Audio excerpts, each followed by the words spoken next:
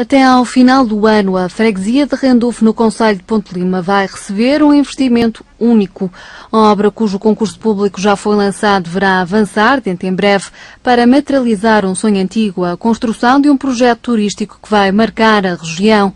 O projeto que prevê a construção de três lagoas de pesca desportiva junto ao Rio Labruja, bem como a edificação de um restaurante e uma área de lazer, partiu da ideia do autarca de Rendufe, que reciclou vários projetos para dar vida a este investimento. Isto já vem há uns anos atrás.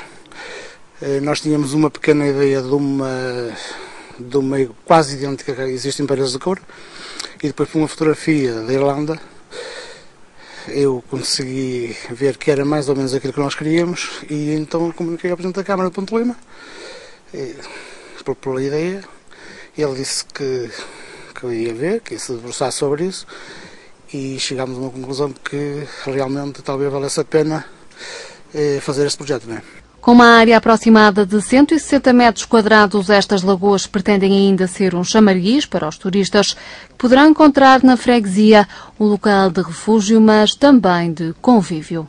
A nossa freguesia é uma freguesia pequena, é, em área é bastante grande, Habita, habitantes têm uma média de 188 mais ou menos, é, e em termos de comércio temos pouco, temos um restaurante, temos uma mercearia, mas toda a gente trabalha na, na construção e no, em textas, né? fábricas textas, aqui na zona industrial de Barras de Coura e, e noutras zonas de Ponte Lima. E a nossa ideia é, como já temos algumas casas de turismo aí na freguesia, então a ver se as pessoas vêm realmente à nossa freguesia. Né?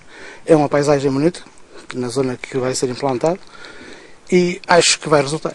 Um projeto que até ao final do ano deverá estar concluído e que prevê ainda numa segunda fase a construção de um polidesportivo.